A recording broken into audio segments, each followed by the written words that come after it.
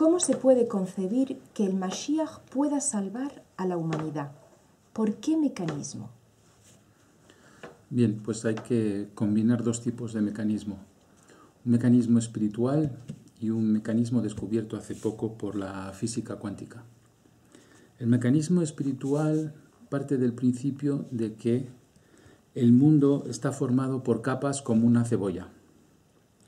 Está el mundo mineral, luego el mundo vegetal integra al mundo mineral, el mundo animal integra al mundo vegetal, el mundo humano integra al mundo animal, el mundo espiritual integra al mundo humano y el Mashiach integra el mundo espiritual y todas las almas.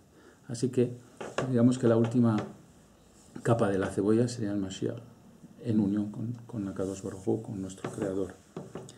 Esto es el concepto espiritual de cómo está creado el mundo. El segundo concepto que viene a combinarse es un concepto que en física cuántica llamamos la intricación o el entrelazamiento, y lo vamos a explicar. ¿Qué es la intricación?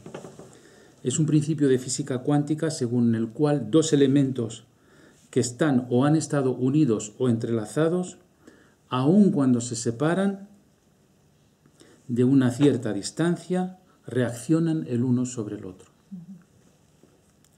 ¿Qué quiere decir? Que instantáneamente un objeto que ha sido un objeto, un elemento o un alma que ha sido unida, si las, la divides en dos, en tres o en cuatro, en cuanto una parte de ese elemento se mueve o es activado por cualquier impulso, inmediatamente el otro elemento también reacciona y no importa qué distancia.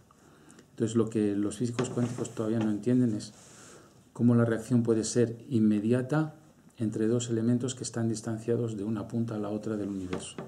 Eso no tiene nada que ver ni con la velocidad de la luz ni con nada, es, tiene que ver con lo que se llama la matriz divina o el Internet divino. Es una reacción instantánea. Luego hay que saber que combinando los dos conceptos que acabo de enunciar, el concepto de las capas de cebolla con el concepto de la intricación, el Mashiach está unido a todas las almas de la humanidad.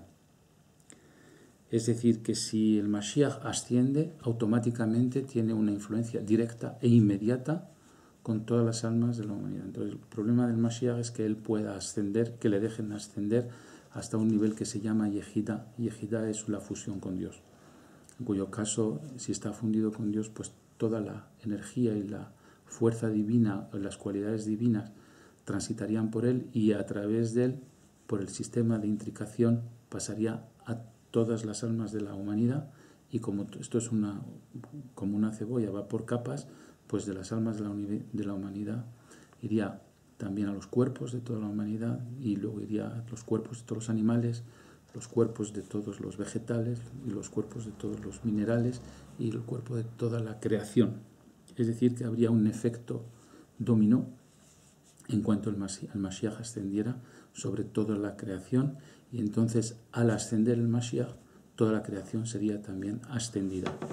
El Baal Shem Tov, que fue un gran, gran cabalista, se dice que fue la reencarnación de Moisés, de Moshe Rabenu, decía que para llevarse bien con Dios hay que elevar la creación. Pues el trabajo del Mashiach es elevar la creación y elevar todo lo que hay en esa creación en todas las capas de cebolla.